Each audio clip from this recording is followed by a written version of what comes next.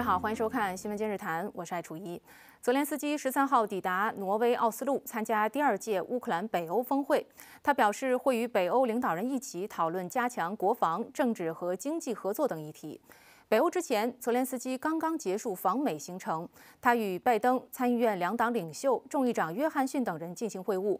美国媒体认为，这是拜登为争取国会通过援乌法案进行的最后一搏。不过，共和党人在援乌的问题上仍然没有松口。泽连斯基亲自登门求援，为何作用有限？美国国会究竟为何迟迟不通过援乌法案？是真的不想援助乌克兰，还是另有其他的原因？《纽约时报》说。欧洲担忧，如果特朗普在2024年美国大选当中获胜，可能导致美国退出北约。欧洲缘何会有这样的担忧？是杞人忧天，还是未雨绸缪？如果美国退出了北约，仅剩欧洲独自跟俄罗斯对抗，欧洲能撑得住吗？相关话题，今天邀请到中国社科院俄罗斯东欧中亚研究所研究员张红先生做分析和解读。先通过新闻短片了解一下相关背景。泽连斯基十三号抵达挪威奥斯陆，参加第二届乌克兰北欧峰会。泽连斯基发文表示，会与挪威、丹麦、冰岛、芬兰和瑞典的领导人一起讨论加强国防、政治和经济合作，以及在欧洲的共同未来。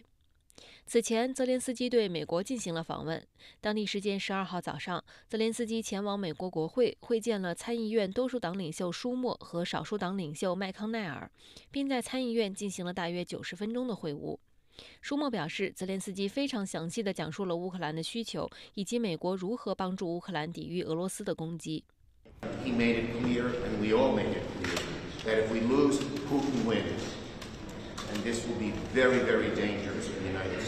泽连斯基在结束参议院会晤后，与众议院议长约翰逊进行单独会面，会面持续了大约三十分钟。会谈后，约翰逊表示和泽连斯基进行了一次良好的会面，但他仍然坚持自己的立场：美国需要先解决边境问题，然后再推进援乌法案。So I've made this very clear again from the very beginning when I was handed the gavel. We needed clarity on what we're doing in Ukraine and how we'll have proper oversight of the spending of precious taxpayer dollars of the American citizens, and we needed a transformative change at the border. Thus far, we've gotten neither. 约翰逊表示，白宫未能制定出帮助乌克兰获胜的明确战略，并批评参议院无所事事。泽连斯基抵达挪威出席第二届乌克兰北欧峰会啊，您觉得这次峰会重点会聚焦哪些议题呢？ 呃，北欧国家确实在俄乌冲突之后对乌克兰支持较多，特别是最近北欧国家都加入了北约，所以呢，乌克兰与北约的这种对话，首先是要聚焦俄乌冲突。嗯。我们都知道，北欧国家是欧洲的经济发达国家，而且呢，它本身的财政军费开支较为充裕。那么，泽连斯基访欧啊，特别是访问北欧，我觉得最首先的一条就是争取更多的军援。在美国军援出现了一些困难的情况下，欧洲就成为了呃泽连斯基争取外援的一个最重要的方向。那很显然，呃，与北欧国家对话，首先就是要伸手要钱，对吧？希望北欧国家提供更多的军援。其二呢，我想的就是我们都知道，呃，在今年年末可能要启动乌克兰加入欧盟的这个谈判。那么现在一些部分的欧风欧洲国家呀，出现了乌克兰疲劳症，但北欧国家相对来说，它的这个疲劳症反应较较小一点。因为北欧国家，比如说挪威啊，是石油的天然气的这种出口大国，因为俄乌冲突啊，可以说这个挪威的经济啊表现得十分亮丽。那么相对其他的这个南欧和东南欧国家呢？北欧国家在在这个支持乌克兰加入欧盟这个问题上，他们的这个立场可能有利于乌克兰，所以泽连斯基这次访问，我觉得除了要钱之外，我觉得还就是争取欧盟内部更大的支持，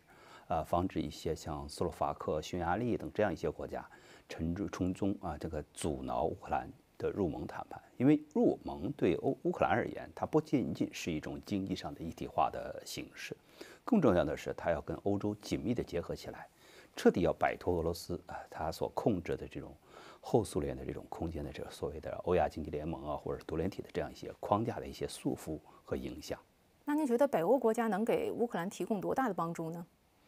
呃，北欧国家现在过去对乌克兰的援助还不多，但是我们看到在呃今年的十月份以后，嗯，芬兰、丹麦对乌克兰进行了十亿欧元。一个国家十亿欧元，一个国家提供了二十亿欧元，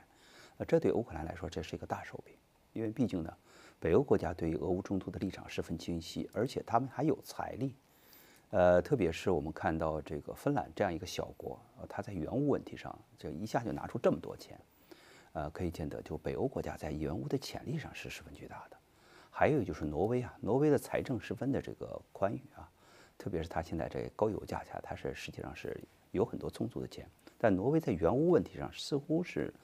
有表现的不是那么亮丽，所以，呃，德林斯基这次跟北欧国家对话，我觉得。争取更多的来自于欧洲的援助，特别是北欧富裕国家的援助，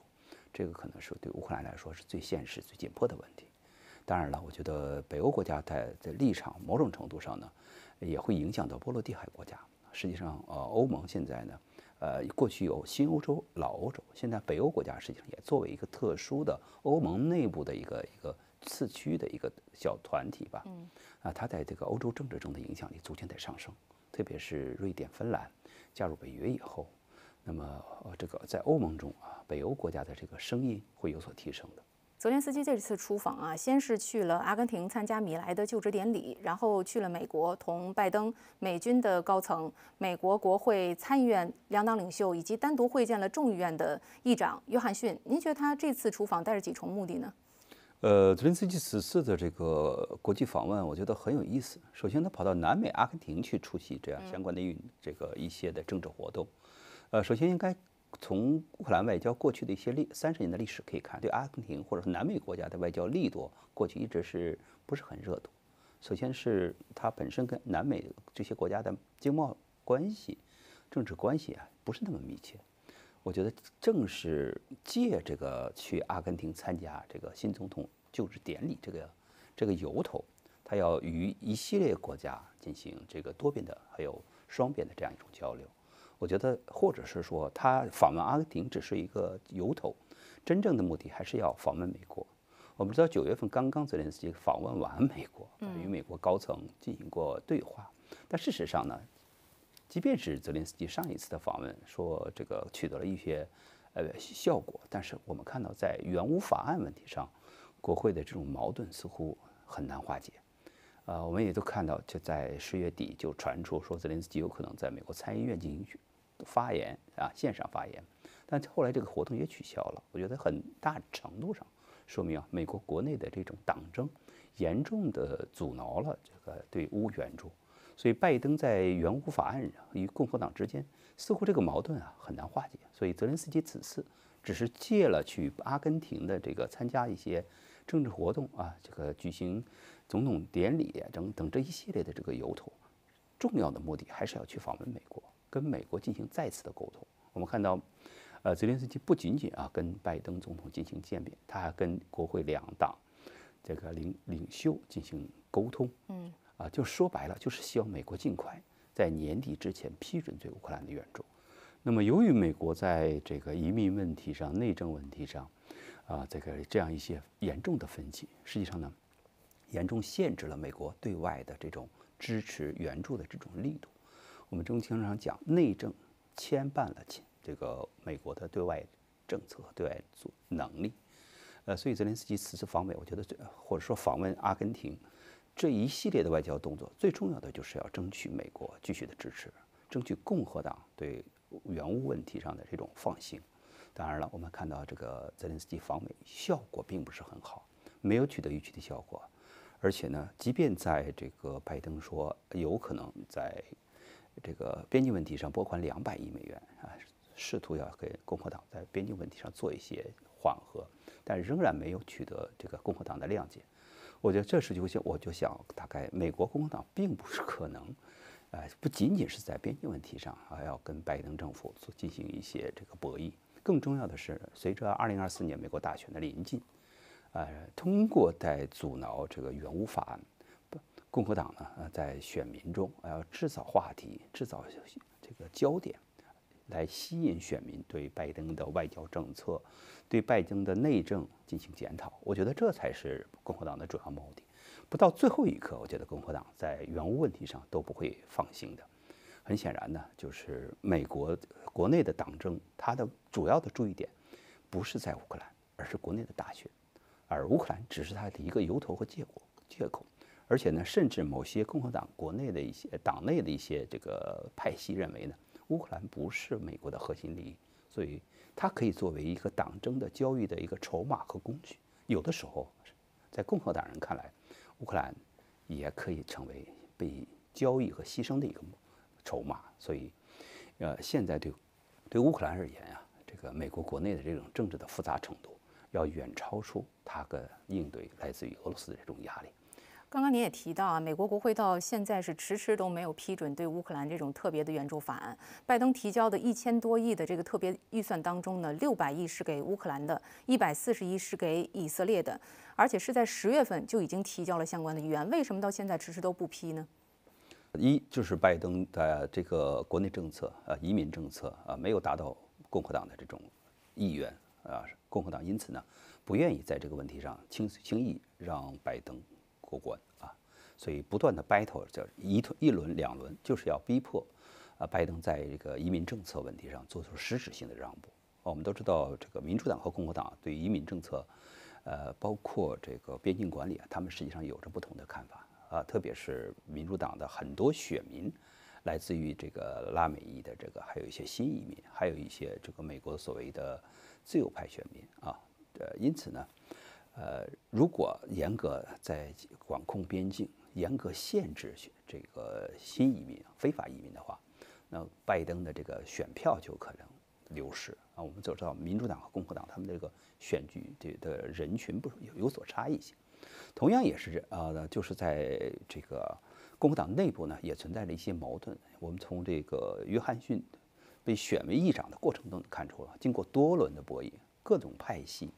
包括这个亲特朗普的这些政治力量，还有一些传统的建制派的一些这个政治力量，他们对于这个俄美国政治、美国外交，呃，他有理解的程度，就各种各种想法。所以呢，呃，现在的美国政治是一个碎片化的美国政治，导也导致他的在外交决策和外交能力啊，大大的受到了限制。呃，对于乌克兰而言呢，一个这个被内政所困扰的这个美国。使得现在来自于西方的支持，呃，似乎是变缓慢了，甚至有可能啊，这种极端情况下，如果2024年美国大选出现一些新的这个领导人的话，呃，比如说特朗普，那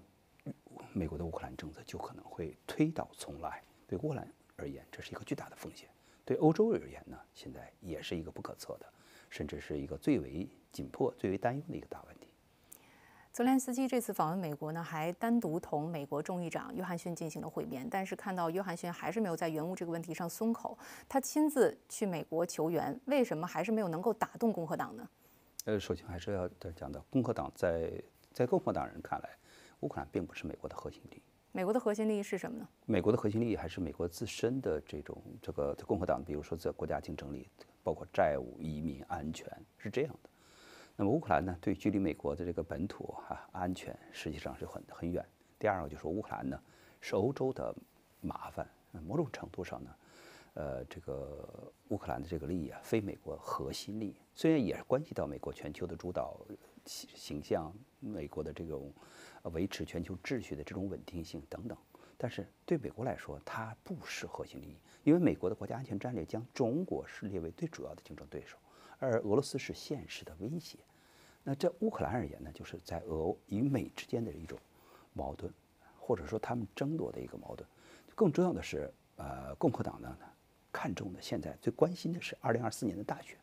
能不能把这个能不能重返白宫，对于共和党来说，它是最大的利益，最现实的利益。所以。呃，即便乌克兰打出了政治正确，打出了这个维持国际安全秩序，呃，维持什么西方所所主导的这种价值观等等一系列的这种这个意识形态的大旗，但是在共和党人看来，这些完全是可以交易的。另外，我们看到《纽约时报》最近报道说啊，美乌两军的高层正在密切的会谈，在商讨一个新的战略，就如何在预算吃紧的情况之下同俄罗斯作战。报道还说呢，美国是正在加强向乌克兰提供这种面对面的军事建议，而且派遣了三星中将小安东尼奥前往基辅。美乌这种两军的这种接触跟交流，您怎么来看？呃，两个东西要变发生了变化。首先呢，就是乌克兰能够获得的军事资源、战战争资源。发生了变化，那么一旦美国援助的这种金额和规模、速度都慢下来，或者是暂停下来，那么对乌克兰来说是一个巨大的压力。那么过去它还有资源、有能力进行反攻，如果一旦美国的援助暂停下来，那么单凭欧洲的资源，我觉得乌克兰能守住就不错了。因此呢，呃，这个需要美国和北约需要与乌克兰军方进行在新的战争资源的这种背景下进行商讨。二零二四年如何打，如何守，我觉得这个他需要去思考的一个问题。第二个问题，我们就讲到现在乌克兰面临的这个俄罗斯也是不同于以往。呃，俄乌冲突接近两年，实际上俄罗斯现在呢在军工体系中啊，可以说马力从全开，产能大幅的提升。在这种背景下呢，俄罗斯不再是一个开战之初的使用完全的苏制装备的一些俄军了。比如说，俄军俄军现在在无人机方面也实现了规模化和国产化。因此呢，啊，这个美国和乌克兰要商讨，在二零二四年如何守，如何与俄罗斯进行战争啊，进行博军事上的这种博弈。呃，当然，我觉得这个设想啊，主要得能看出来，一个是守得住，首先要守得住；其次呢，要坚持住，就能够打一场持久战。如果乌克美国出现国内政治的一些巨大的变化的话，那乌克兰必须要适应新的国际政治形势。好，先谢谢张先生点评分析。下节回来继续带您关注，《纽约时报》发表文章说，如果特朗普在2024年美国大选中获胜，可能导致美国退出北约。相关话题我们稍后继续，一会儿见。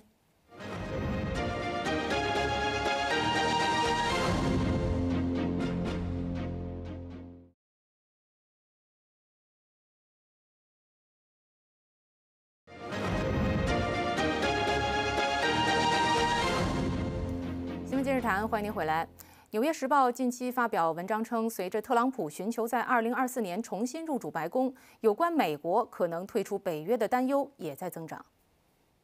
纽约时报》援引此前北约驻欧洲部队司令、退役的美国海军上将詹姆斯·斯塔夫里迪斯的话报道称，欧洲担心特朗普再次担任总统将导致美国退出北约。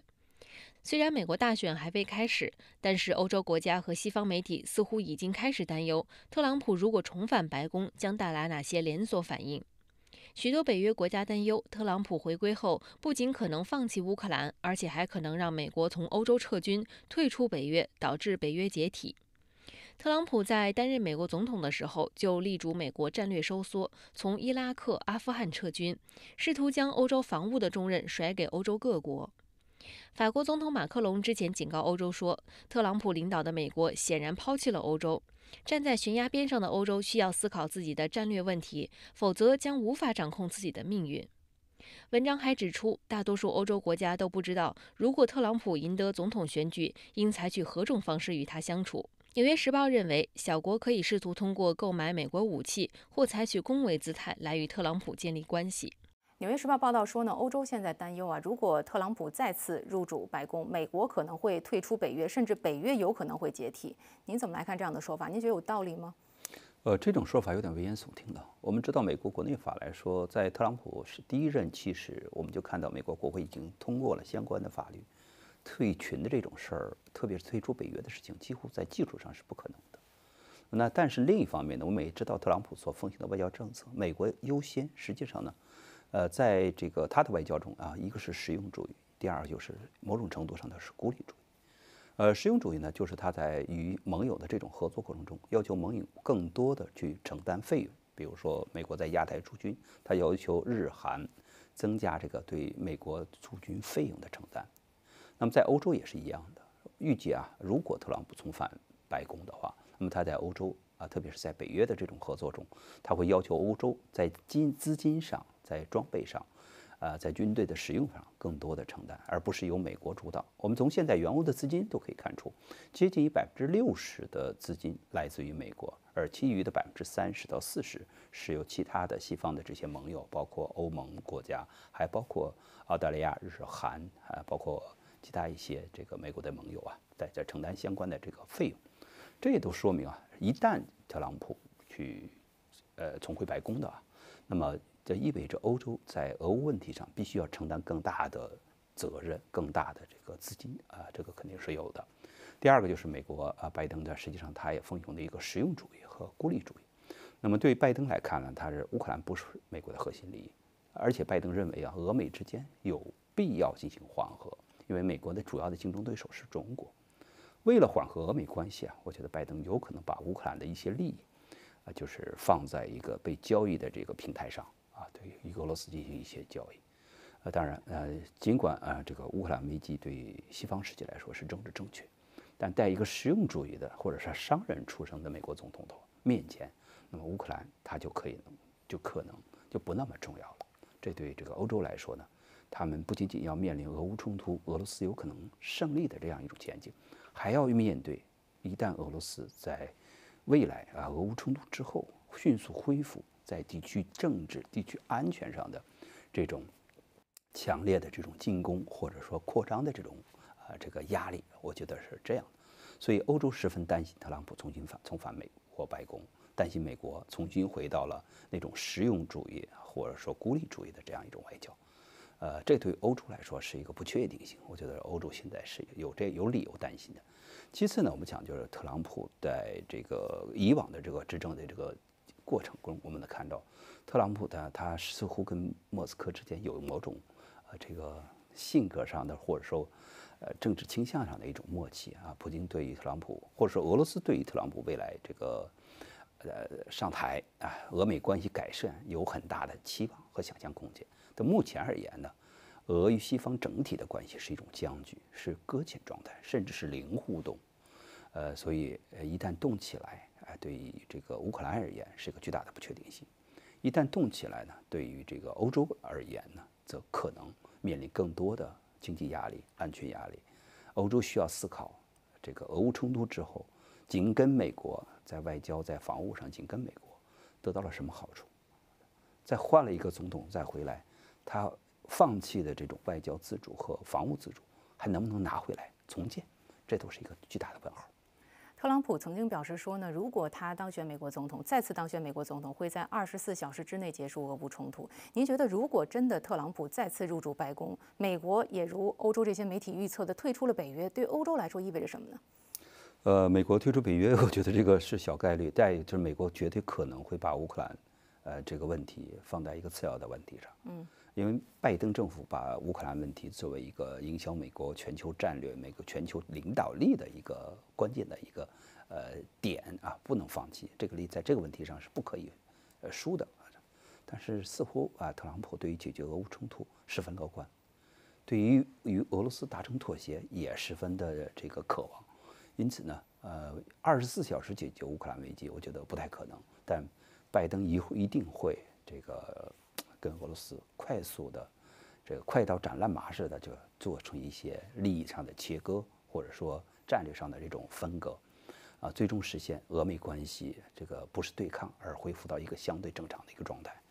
当然，从过去拜登执政的一些经验到特朗普过去执政的一些经验，我们能看出啊。事实上，美国呀，并不是一个由白宫决定一切的，啊，国会啊，还有白宫，甚至是美国的利益集团对国家政策都有自己的影响力。因此呢，对这个特朗普未来这个如果执政的话，对世界秩序、对俄乌冲突的一些担忧啊，也不必过分的被夸大。美国媒体之所以说炒作一天之内，或者说美美国退出北约，实际上反正是反映出啊。呃，这个西方建制派对特朗普政策的各种担忧。我们看到此前呢，法国总统马克龙多次提到有关欧洲战略自主性的一个问题，包括匈牙利的总理欧尔班最近在接受媒体采访时候，他就说到，欧洲不应该一直待在美国的阴影之下。所以，您觉得欧洲现在是真的已经开始考虑并且来实现战略自主的问题吗？呃，我觉得欧洲似乎是一直在说战略自主和安全自主，但欧洲事实上是在。无论是在政治上还是在体制上，呃，制度上都没有办法短时间实现所谓的自主。首先还是要讲到欧盟啊，它是一个 国家的这个联合超超地区的一种联合组织，它甚至是在人类政治形态过程发展的过程中从没有过的这样一种超国家的联合体。有的人把它形容成邦联，但事实上欧盟在很大程度上还是较松散。比如说欧盟的一票否决制。在原物问题上，只要匈牙利说不，那整个欧盟的政策就不能落地，就不能通过。这也都显示出啊，欧洲要想实现战略自主，要想实现安全自主，我觉得它在制度建设上还有很大的困难。欧洲呢，欧盟呢这么大二十几个这个国家，他们在这个各自国家的利益、各自对安全的这种认识，某种程度上还是缺乏统一性的。那么在默克尔时代、马克龙时代，我觉得这个欧洲似乎是双轮马车，有这样一种大国牵引，然后带领整个欧盟进行全球外交啊，在这个全球政治中有所表现。但事实上，默克尔时代已经结束了。舒尔茨领导的这个红啊，这红绿灯啊，这个这个联合政府在外交、在内政似乎上表现得更为这个安静啊，或者说在更很大程度上是跟随美国。俄乌冲突给欧洲带来最大的问题就是它丧失了外交和这个安全上的自主性。马克龙说应该重建，这只能代表欧洲的一种声音。事实上，从一种想法到行动，欧洲还有很长的路在走。所以，真的如果遇到了这个特朗普重返白宫，呃，美国重返、重回这个孤立主义、美国优先的这样一种外交来说，对欧洲来说，他就需要思考这个如何重建啊，如何与其他的周边大国进行合作。好，非常感谢张红先生带来的点评和分析，也感谢您收看今天的新闻今日谈，再会。